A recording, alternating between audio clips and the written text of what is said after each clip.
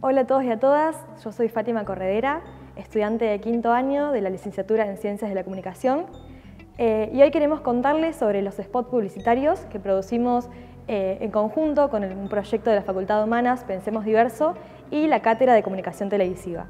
En grupos de cinco o seis integrantes, de mujeres y varones, eh, dialogamos sobre qué se piensa sobre el concepto de masculinidades.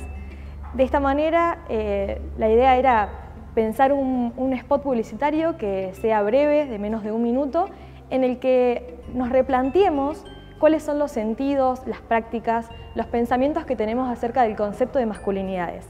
Al dialogar con mis compañeros y mis compañeras nos dimos cuenta que teníamos que salir de la idea de solamente pensar al hombre en la cocina o al hombre cuidando a niños y a niñas. Eh, entonces teníamos que buscar prácticas que sean cotidianas, que estén naturalizadas y eso fue lo que más nos costó descubrir porque eh, hay ideas, conceptos, prácticas que lo asociamos a cierta masculinidad, que para ser hombre hay que cumplir con un cierto estereotipo.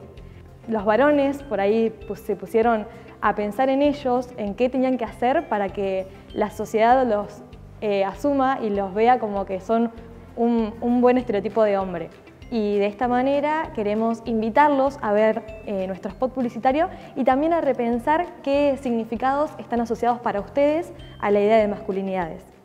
¡Vamos,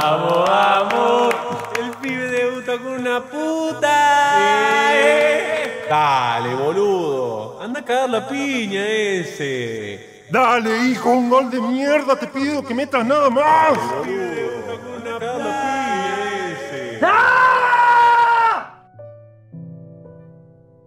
¿Por qué fui? Si ni siquiera quería estar con alguien que no amo. ¿Por qué le pegué a ese chico? ¿Qué quería demostrar? ¿Por qué acepté ir a fútbol? Si mi pasión nunca fue esa. Que tu decisión no defina tu masculinidad. Hay tantas decisiones como masculinidades posibles.